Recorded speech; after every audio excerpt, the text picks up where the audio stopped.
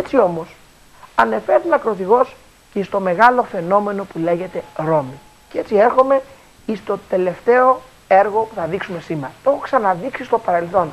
Θέλω να το δείξω λίγο εδώ με προσοχή σήμερα γιατί εδώ θα σας τρελάνω τώρα.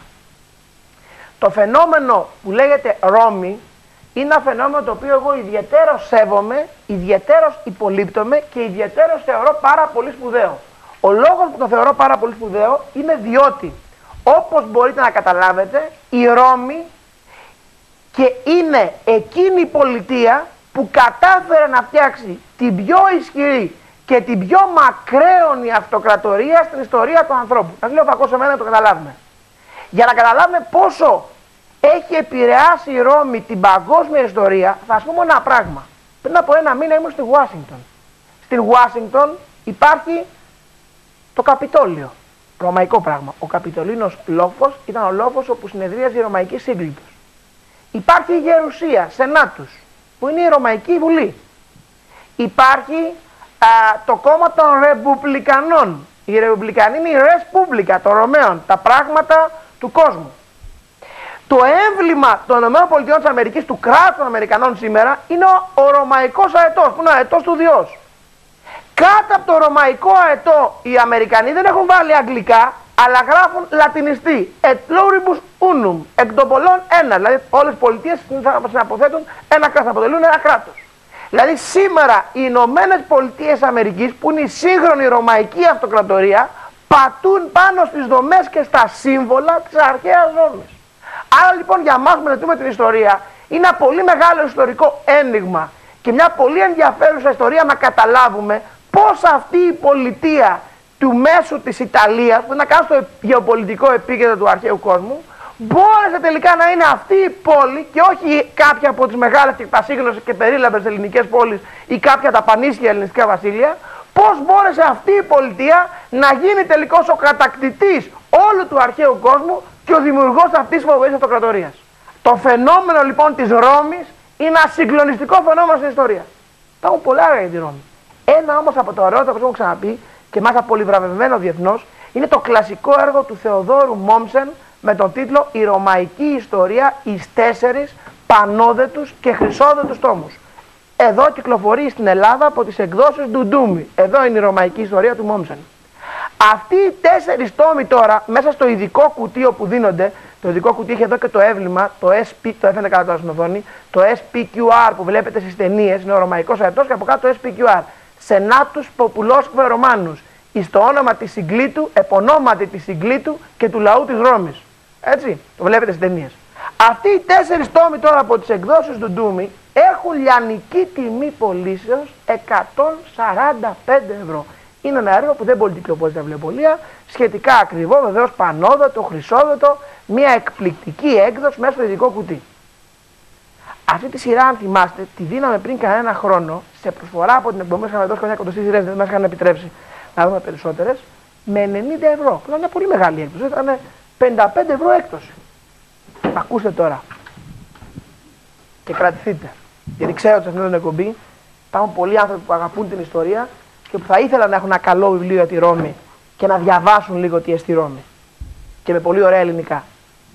Για σήμερα μόνο και για αύριο αυτοί οι τέσσερις τόμοι της ρωμαϊκής ιστορίας του Μόμσεν από τις εκδόσεις του Ντούμι όπως τις βλέπετε μέσα στο ειδικό κουτί οι τέσσερις χρυσόδετοι πανόδε τόμοι μόνο με 60 ευρώ από 145 ευρώ μόνο με 60 ευρώ στο 2, 10, 38, 15 το ξαναλέω από 145 ευρώ μόνον με 60 ευρώ και οι τέσσερις τόμοι στο 2, 10, 38, 15 Μιλάμε για πολύ μεγάλη ευκαιρία. Είναι έκπτωση μεγαλύτερη του 50%. Το 50% θα ήταν στα 72,5 ευρώ.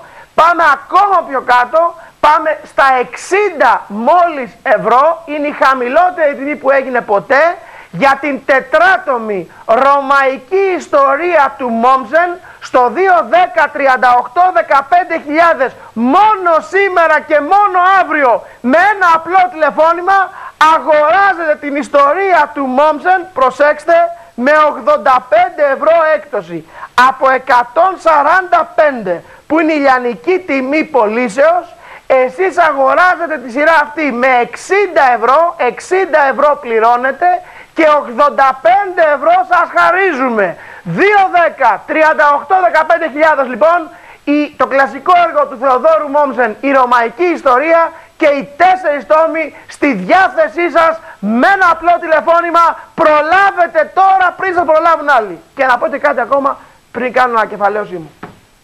Αυτή η τετράτομο ιστορία έχει τόσο πολύ ενδιαφέρον διότι διαπραγματεύεται την πιο ενδιαφέρουσα εποχή. Και θέλω λίγο να εξηγήσω τι έχει αυτή η σειρά.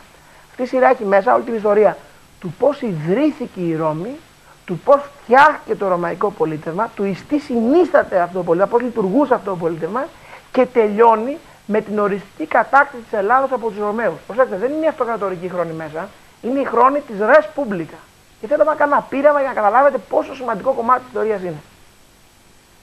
Ρωτάω σας τώρα να παρακολουθείτε ποιους γνωστούς Ρωμαίους πολιτικούς ξέρετε. Θα δίνω ένα-δύο δευτερόλεπτα, ένα-δύο λεπτά. Σκεφτείτε, ποιους, εσείς που με κάθε σπίτι τώρα, ποιους γνωστούς Ρωμαίους ξέρετε; Προλαβαίνω τώρα. Ποιους σκέφτεστε; Λέει κάποιος τον Ιούλιο Κέσσαρα. Λέει άλλος τον Πομπίο. Λέει άλλος τον Τραϊανό. Λέει άλλος τον Αδριανό. Λέει άλλος τον Μάρκο Αντώνη. Λέει άλλος τον Αύγουστο. Κάπου εκεί είστε. Όλοι αυτοί είναι αφού δημιουργήθηκε η κοσμοκρατορία της Ρώμης.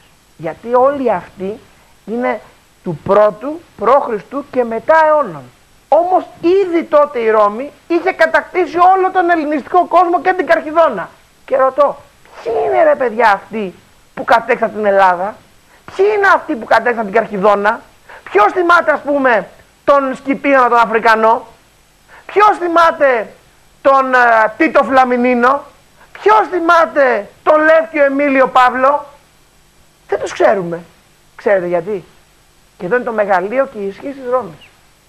Η Ελλάδα έβγαζε μεγάλο προσωπικότητες, αξεπέραστες. Μέγας Αλέξανδρος, Φίλιππος, Περικλής, Μιλτιάδης, Θεμιστοκλής. Η Ελλάδα ήταν πάρα το πρόσωπο. Η Ρώμη όμως, και γι' αυτό έγινε μεγάλη, δεν ενδιαφερόταν για τα πρόσωπα, ενδιαφερόταν μόνο για τη δομή, για τη Ρώμη. Κέρδισε ο Τίτος Φλαμινίνος στην Ελλάδα και νικώντας τον Φίλιππο τον Πέμπτο στη μάχη των κοινών κεφαλών το 197. Μάλιστα, τον κέρδισε, πήγε στην Κόρυθο, απελευθέρωσε δίθεν της πόλης Νοτιού Ελλάδος και στην ουσία της κατέκτησε στη Ρωμαϊκή επικράτεια, γύρισε στη Ρώμη, πήρε τη συνταξή του, πήγε σπίτι του, δεν ξέρω κανείς τίποτα για αυτόν. Θέλω να καταλάβετε ότι το φαινόμενο της Ρώμης είναι ένα εξαιρετικά εντυπωσιακό φαινόμενο που όσο και να σας κάνει εντύπωση έχει να κάνει πάρα πολύ και με το σήμερα και με εμάς, με το χαρακτήρα το δικό μας και που εμείς διαφέρουμε. Αυτό λοιπόν το έργο έχει εξαιρετικό ενδιαφέρον. Και θέλω να κλείσω με ένα δυσάρεστο γεγονός, γιατί δεν μπορώ να μην αναφερθώ, έστω για δευτερόλεπτα. Όπως ε, μάθαμε προχθές, έφυγε από τη ζωή ο δόκτωρ Ανδρέας Παναγόπουλος. Θυμάστε τον και καθηγητή μου, τον Ανδρέα Παναγόπουλο, από τις πάρα πολλές εκπομπές, τις κοινές εμφανίσεις που κάναμε εδώ στην εκπομπή Ελληνική Αγωγή, αλλά τηλεοπτικά μαθήματα της ελληνικής γλώσσας που δίναμε και το ξέρετε από πάρα πολλά και σπουδαία βιβλία και φυσικά τον θυμούνται και οι χιλιάδες των φοιτητών του. Κάποτε φτάνει το τέλος για όλους μας, θα όλοι βρωτοί, ευχόμαστε καλό ταξίδι και στο επανειδήν, ένα πραγματικά σπουδαίο καθηγητή. Να είστε όλοι καλά, αύριο ξανά μαζί εδώ στην φιλόξενη του Blue Sky στην εκπομπή